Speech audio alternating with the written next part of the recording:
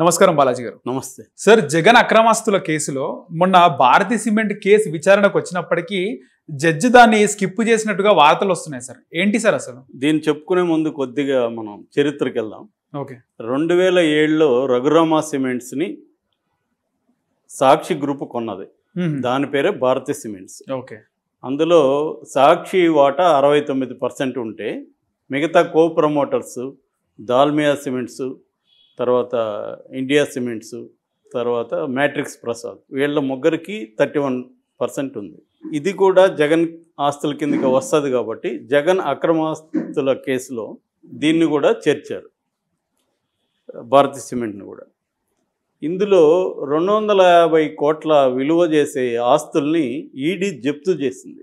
ముఖ్యంగా bank FDs deposits bank guarantees ఉన్నాయి. దీనికి వ్యతిరేకంగా భారతీ సిమెంట్స్ అడ్యుకేటింగ్ కోర్టు అంటారు అథారిటీ కోర్టు అంటే ఈడీకి అటాచ్ అయిండే కోర్టు హైకోర్టు రెండు కోర్టులను వేసింది. వేస్తే రెండు కూడా భారతీ సిమెంట్స్కి అనుకూలంగా తీర్పిచ్చాయి. ఇది చల్లదని చెప్పే జప్తు. ఓకే. దాంతో వీళ్ళు ఇరవై ఐదు కోట్ల పూచీకత్తు హైకోర్టులకు కట్టి ఆ కేసు నుంచి బయటకు వచ్చారు అయితే ఈడీ ఏం చేసిందంటే హైకోర్టు తీర్పుకు వ్యతిరేకంగా సుప్రీంకోర్టుకి వెళ్ళింది. ఆ సుప్రీంకోర్టు పిటిషనే నిన్న justice Subramanian and justice Pankaj వీళ్ళిద్దరి బెంచ్ ఇది.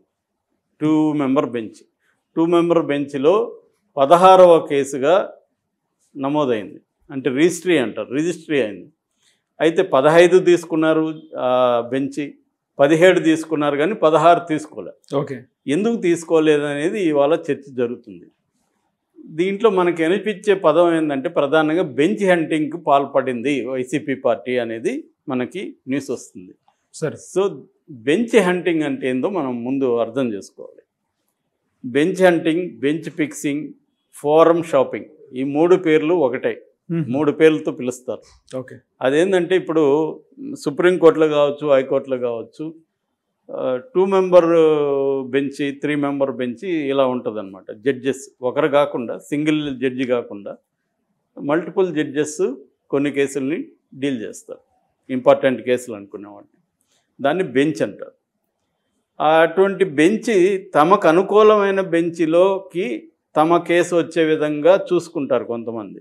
అలా చూసుకోవడాన్ని బెంచ్ హంటింగ్ అంటారు అంటే. తమకు అనుకూలమైన బెంచ్లోకి తమ కేసు వెళ్ళేట్టుగా క్లర్కుల్ని అక్కడ ఉండే రిజిస్టర్. మేనేజ్ చేసుకుని వెళ్తే అది అలా ఎందుకు వెళ్తారంటే ఆ బెంచ్లో తమకు అనుకూలమైన జడ్జెస్ కావచ్చు తమ బంధువులు కావచ్చు తమ ప్రాంతం వాళ్ళు కావచ్చు ఏదేమైనా తమకు అనుకూలమైన తీర్పు వస్తుంది అనుకునే బెంచ్ దగ్గరికి తమ కేసుని తీసుకెళ్ళే పద్ధతిని బెంచ్ హంటింగ్ లేదా బెంచ్ ఫిక్సింగ్ లేదా ఫోరం షాపింగ్ అని పిలుస్తారు అన్నమాట ఇలా ఇప్పుడు వర్లరామయ్య నిన్ మొన్ననే ప్రకటన చేశాడు. వీళ్ళు వైసీపీ వాళ్ళు భారతీ సిమెంట్ కేసులో బెంచ్ హంటింగ్కి పాల్పడేట్టుగా ఉన్నారు అని ఆయన ప్రకటించాడు. ప్రకటించిన ఇరవై నాలుగు గంటలకే నిన్న ఈ సంఘటన జరిగింది. అంటే అంతకుముందు వేరే ఇద్దరి జడ్జిల కిందకి అది బెంచ్ కిందకి వెళ్ళింది. సడన్గా రిజిస్ట్రీలో నుంచి మాయమైంది ఫైల్. మాయమై ఇక్కడ తేలింది. దాంతో మేబీ ఆ జడ్జెస్ ఇది ఆల్రెడీ బయట వార్తలు వస్తున్నాయి కాబట్టి తీసుకోవడం కరెక్ట్ కాదని కేసును తీసుకోకుండా ఉండొచ్చు.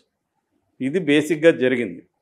అంటే దీ నేపథ్యం మనం డిస్కస్ చేసుకుంటే అసలు బెంచ్ అంటింగ్కి ఎందుకు పాల్పడుతున్నారు? ఇలాంటి ఆరోపణలు ఎందుకు వస్తున్నాయి? ఇదేంటంటే సుప్రీంకోర్టు అనేది ఒక అత్యున్నత న్యాయస్థానం భారతదేశంలో.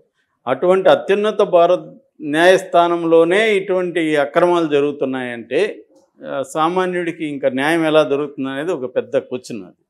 అంటే అధికారంలో ఉన్నవాళ్ళు సీఎంలు కావచ్చు పిఎంలు కావచ్చు అధికారంలో ఉన్నవాళ్ళు లేకపోతే ఇన్ఫ్లుయెన్స్ చేయగలిగిన వాళ్ళు మాత్రమే తమ కేసులను ఇలాగా డీల్ చేసుకుంటుంటే మామూలు వాళ్ళ పరిస్థితి ఏందనేది బిగ్ క్వశ్చన్. ఇది మొదటిసారి వచ్చిన ఆరోపణ కాదు. ఎప్పటి నుంచో సుప్రీంకోర్టుతో సహా అనేక కోర్టుల మీద ఇటువంటి ఆరోపణలు ఉన్నాయి. ఆ మధ్య జస్టిస్ చలమేశ్వర్ ఆధ్వర్యంలో నలుగురు సుప్రీంకోర్టు జడ్జీలే అనేక ఆరోపణలతో పాటు బెంచ్ హంటింగ్ ఆరోపణ కూడా వాళ్ళు చేశారు. ఆల్రెడీ ఇలాంటివి చేస్తున్నారని.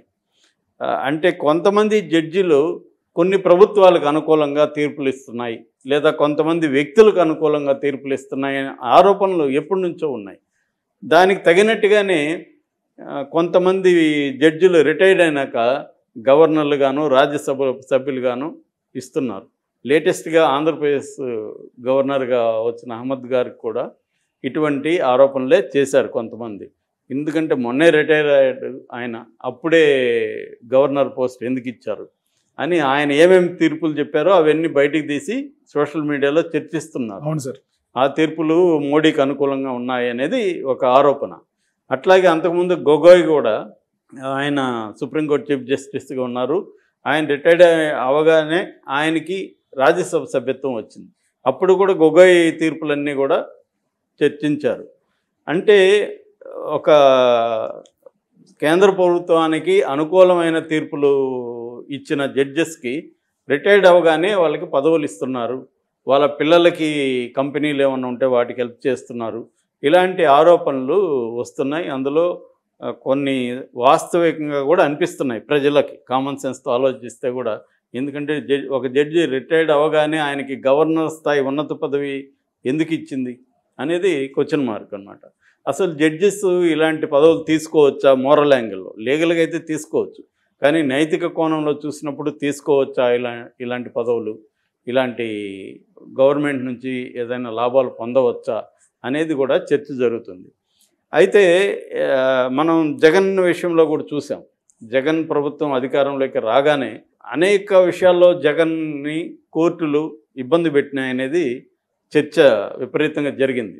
అందుకనే ఎప్పుడు చరిత్రలో ఎప్పుడు జరగనట్టుగా ఒక ముఖ్యమంత్రి ఒక కాబోయే చీఫ్ జస్టిస్ మీద చీఫ్ జస్టిస్కి లేఖ రాయడం అనేది కూడా చరిత్రలో తొలిసారిగా ఇండియాలో చూసాం మనం. జగన్ ఆ పని చేశాడు. జస్టిస్ రమణ గారి మీద ఒక ఫిర్యాదు చేశారు అప్పుడు ఉన్న చీఫ్ జస్టిస్కి. అది దేశంలో అతిపెద్ద సంచలనం అయింది. చివరికి అది ఏమీ తేలకుండానే దాన్ని కొట్టేశారు ఆ ఫిర్యాదు. దాని మీద ఏం చర్చించలేదు. జగన్ కూడా అనేక చంద్రబాబు మీద కూడా ఇదే ఆరోపణలు చేశాడు. బెంచ్ హంటింగ్ ఆరోపణలు. ఇది కొత్త ఆరోపణ ఏం కాదు. అంటే పరస్పరం ఒక రాజకీయ పార్టీ ఇంకొక రాజకీయ పార్టీ మీద చేస్తున్న ఆరోపణలే. ఇక్కడ చేయడానికి బెంచ్ హంటింగ్ ఎలా చేశారు అని వరలరామయ్య వీళ్ళు చెప్తున్నారంటే ఆ రిజిస్ట్రీలో కేసు పెట్టే దగ్గర క్లర్క్ ఎవరంటే నిరంజన్ రెడ్డి అని మన ఆచార్య సినిమా ప్రొడ్యూసర్. సార్. ఆయన రీసెంట్గా రాజ్యసభ సభ్యత్వం ఇచ్చారు వైసీపీ వాళ్ళు. వాళ్ళ అబ్బాయి అక్కడ క్లర్క్గా ఉన్నాడు. ఓకే. సుప్రీంకోర్టులో ఈ రిజిస్ట్రీలో. ఈ ఆ అబ్బాయి క్లర్క్గా ఉన్న దా బెంచ్కే ఇది వెళ్ళింది. అంటే ఆ అబ్బాయి మేనేజ్ చేసి మ్యానిపులేట్ చేసి రిజిస్ట్రీలోకి ఒక రిజిస్ట్రీలో మాయం చేసి ఈ రిజిస్ట్రీలోకి తీసుకెళ్ళాడు అనేది వీళ్ళు చేస్తున్న ఆరోపణ. అంటే ఇవన్నీ చూస్తే నిజమేమో అనిపించేట్టుగా సర్కమ్స్టెన్షియల్ ఫ్యాక్ట్స్ మనకి కనిపిస్తున్నాయి. అలాగే గతంలో కూడా చంద్రబాబు మీద కూడా ఇదే ఆరోపణలు ఉన్నాయి.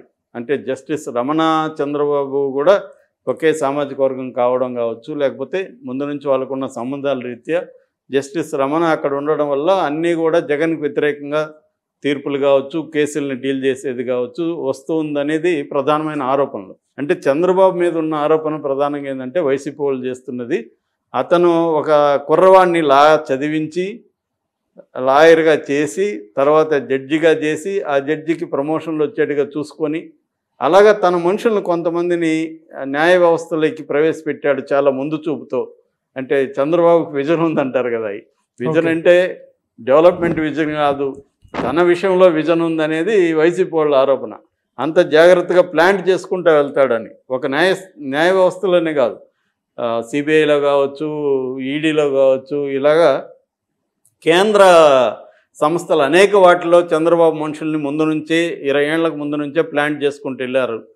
సో వాళ్ళు ఇవాళ పెద్ద పొజిషన్లో ఉండడం వల్ల చంద్రబాబుకు అనుకూలంగా అన్ని విషయాల్లో కానీ జరుగుతున్నాయి అనేది వైసీపీ వాళ్ళు కానీ బీజేపీ వాళ్ళు కూడా కొంతమంది విమర్శిస్తున్నారు. ఇప్పుడు లేటెస్ట్గా వైసీపీ మీద ఈ అభియోగాలు వచ్చాయి కొత్తగా మనకి ఈడీ విషయంలో. సో ఇది కేవలం పొలిటికల్ పార్టీకి సంబంధించిన అంశంగానే మనం చూడకూడదు. ఇది న్యాయ వ్యవస్థకు సంబంధించిన అంశంగా మనం చూడాలి ప్రధానంగా. ఎందుకంటే రాజకీయ పార్టీలు తమ స్వలాభం కోసం వ్యవస్థల్ని మేనేజ్ చేయడం అనేది ఎప్పటి నుంచో ఉంది. రాజకీయాలు పుట్టినప్పటి నుంచి కూడా అది. జరుగుతుంది. కానీ న్యాయ వ్యవస్థ అనేది స్వతంత్రంగా ఉండాలి అది నిష్పక్షపాతంగా ఉంటేనే సామాన్యులకు న్యాయం లభిస్తుంది అనేది మనకి తెలిసిన విషయం. అలాంటప్పుడు న్యాయ వ్యవస్థ కూడా ఇలాంటి ప్రలోభాలకి లొంగి తమకు అనుకూలమైన వ్యక్తులకి అనుకూలంగా తీర్పులు కానీ లేకపోతే అనుకూలంగా కేసుల్ని తీసుకోవడం కానీ చేయడం అనేది సరైంది కాదు. అలా చేయడం వల్ల సామాన్య ప్రజలకి న్యాయ వ్యవస్థలో నమ్మకం పోతుంది. ఇది బేసిక్గా. రైట్ సార్ ధన్యవాదాలు. Thank you